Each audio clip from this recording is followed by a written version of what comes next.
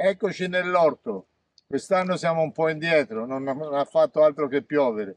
Abbiamo messo solo un po' di baccelli, aglie e cipolle.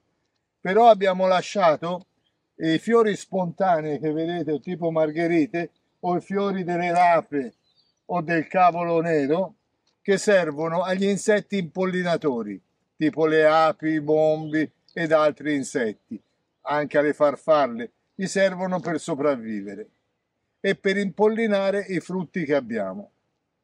Però come fiori abbiamo anche i fiori dei baccelli che sono già cresciuti. Questi li abbiamo seminati a dicembre ed ora sono già in fiore.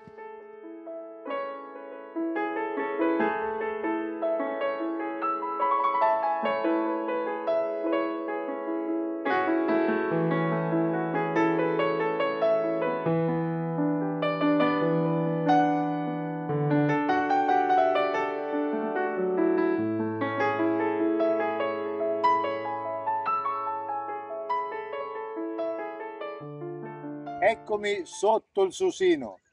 Sono insieme agli insetti impollinatori che mi girano intorno. Questi sono già tutti in fiore. Ecco gli insetti impollinatori a cosa servono. Servono a impollinare questi fiori che daranno poi frutti. Quando non ci saranno più questi insetti che stanno scomparendo, saranno veramente dei grossi problemi. Pensiamoci bene a queste cose.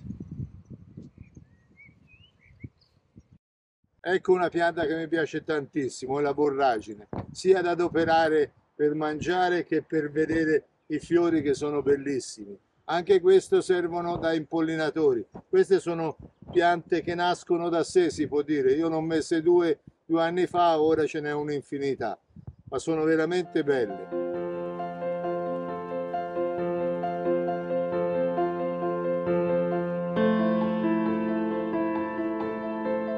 Ecco il rosmarino fiorito. Anche questa è una pianta che attira tantissimi insetti e serve veramente a tanto.